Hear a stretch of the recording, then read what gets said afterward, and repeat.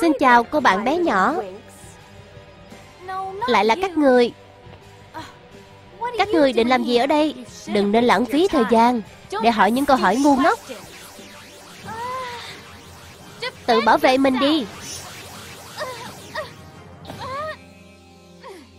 Dù là đang ở trong bài kiểm tra, Nhưng mà không còn lựa chọn, Mình phải hạ bọn chúng.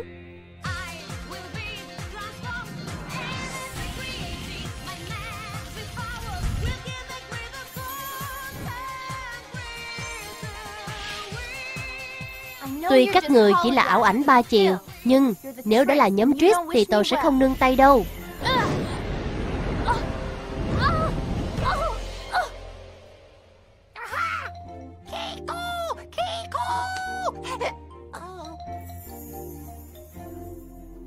Thôi nào Darcy đứng dậy